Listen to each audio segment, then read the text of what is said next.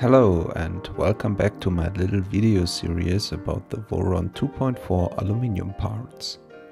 In the first part we got a general overview about the what and why I choose aluminium parts. In this video we will have a closer look at the parts themselves.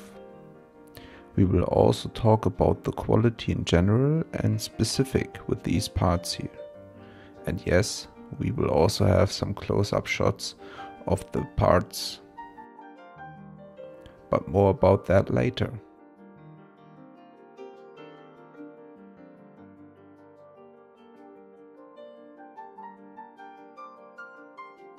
So here they are the Voron 2.4 aluminium parts. 69 parts in total if I have not miscounted. So as far as I know it, these parts are only available in this cool red-black looking color scheme. The colors are anodized. But before we talk any more about the parts and manufacturing quality, let's first address the elephant in the room, the aluminium itself. I forgot to talk about this in the last video. Well, many of you know this before, but I like to mention it here again. There are different kinds of aluminum. Well, actually, we are talking mostly about different aluminum alloys if we talk about aluminum. The difference is simple. Aluminium itself is inside the periodic system and relatively soft. So to make use of this material, we combine this material with other materials. Thereby, we enhance the material properties with other elements from the periodic system.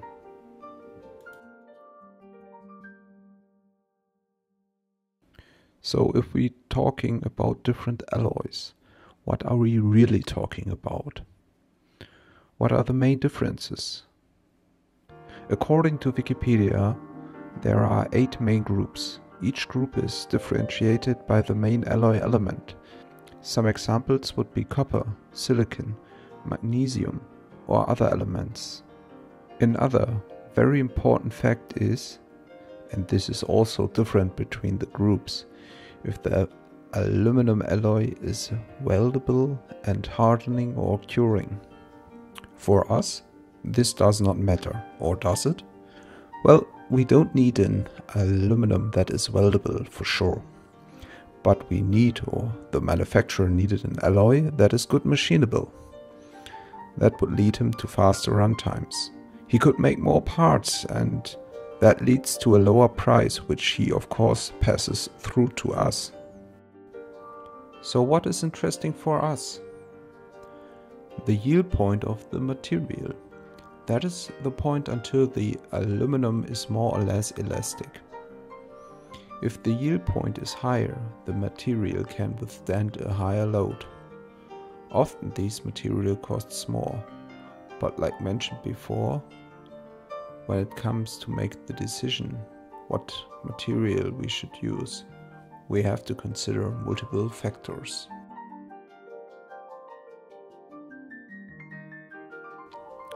The material the Voron 2.4 aluminum parts are made of is 6061 aluminum. It is a well-known aluminium alloy in the bike frame industry and also inside the aerospace sector. This material is widely used. To be honest, for most of you guys, this will make not a huge difference. Aluminum is just a cool and awesome lightweight construction and engineering material. For those of you who are interested in this stuff, please feel free to subscribe and like this video. In further videos, we will have a more detailed view into the theoretical parts of things. Back to the parts themselves. In the beginning of the video I promised that we will have a look at the parts and see them from a quality perspective. Since we cannot measure the material, we simply have to trust the seller on this one. But what we can see is the surface finish through the anodized surface finish and this is for most of the parts extreme good. I would not say perfect, but overall very very good. With this little guy here for example, you can clearly see the milling tools. But guys, let's be reasonable, these are mostly technical parts. The surface quality here presented is okay for the price. But like mentioned before, technical parts. But there are some things I can complain about. If you look at this part here, for example, you can see some scratches in the surface finish. It's not well anodized, but I guess it's okay because the scratches are inside and you will never see them from the outside. I also found some not so nice machined areas, but you can decide yourself what you think about these. And then there are some scratches and dents, but just small ones. Maybe they came from the shipping, who knows? Okay, before we came to the cool measurement stuff, let's first have a look at this part here, especially at this chamfer here. It's just beautiful.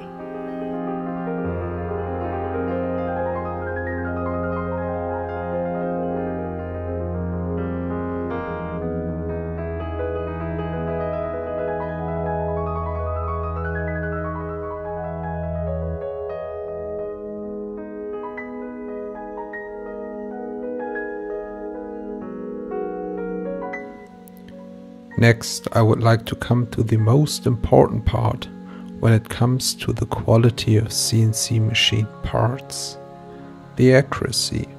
So, how good was the machinist or the machine in making the parts? To check the accuracy, we need some measuring devices, calipers, for example. But when it comes to real precision, we normally use outside micrometers. Okay, let's first make a short test with my analog caliper. Here I'm taking a part called Z-belt clip lower. Maybe we can get a close-up shot of this one. Let's see, maybe with some music.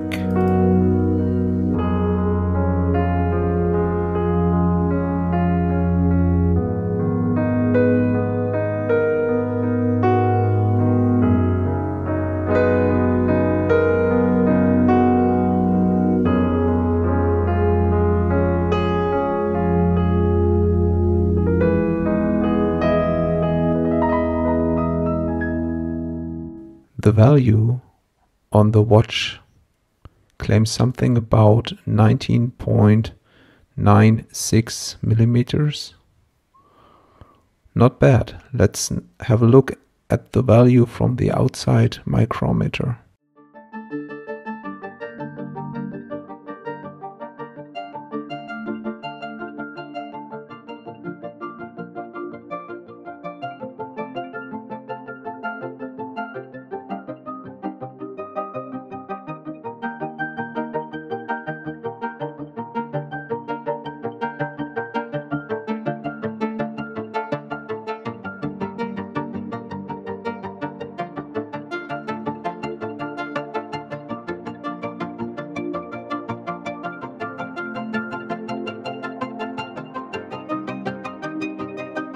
Well, folks, here you have it. Four thousandths off of an part that is machined, anodized, and sent half around the world. Pretty damn good.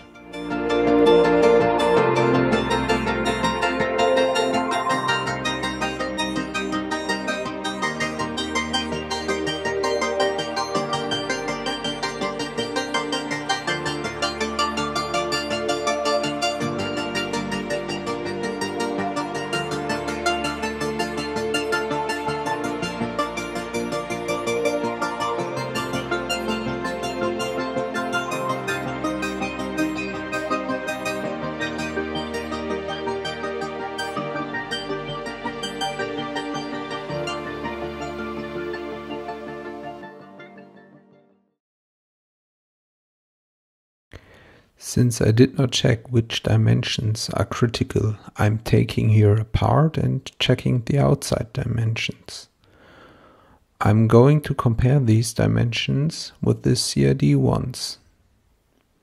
There are a few ways to determine thereby the quality. You can say the absolute value of the part and the overall value of more than one part. For example, you can compare these parts here with the CAD drawings and thereby you can check how accurate it was machined. If you do that with all the same parts, you can check if the parts are consistent, so to say.